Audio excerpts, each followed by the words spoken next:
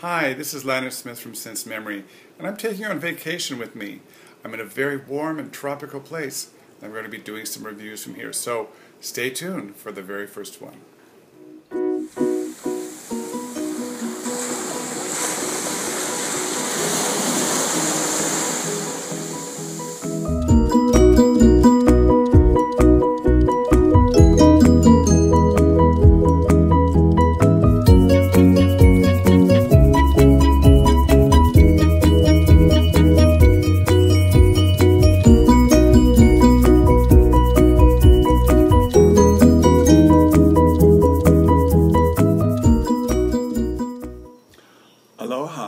This is Lanier Smith from Sense Memory, and welcome to beautiful Hanalei, Kauai, Hawaii.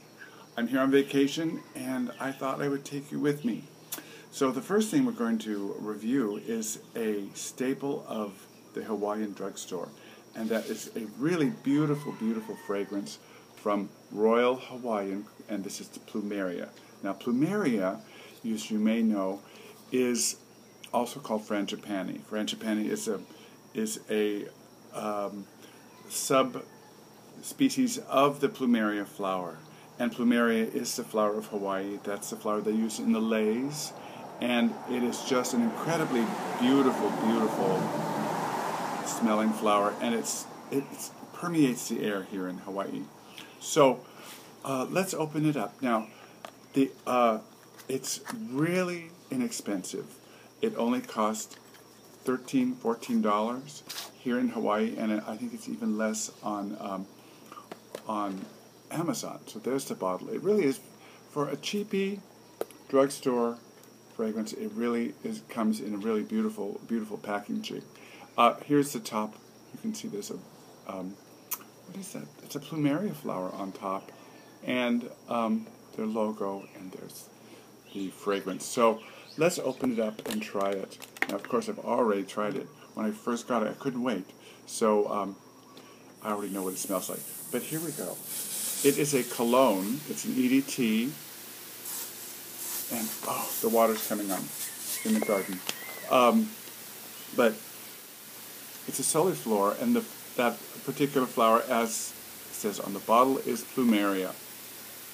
And it is so beautiful. I can't describe it. If you've ever been to Hawaii, then you'll know what I mean.